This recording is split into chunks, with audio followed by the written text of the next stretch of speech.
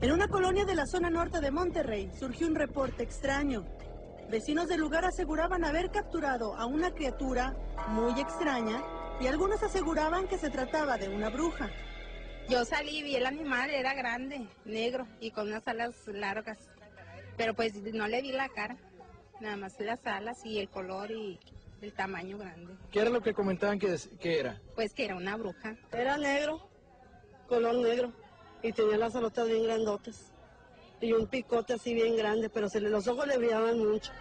Pero las versiones de los vecinos hicieron sospechar a un investigador que no se acompañó al lugar, ya que los relatos parecían ser algo exagerados. Aparentemente es un pájaro grande, no muy grande, no tan grande como parecía que eran los reportes, pero yo creo que el siguiente paso es ver en Protección Civil que realmente ellos fueron los que ellos fueron los que los que se llevaron el animal.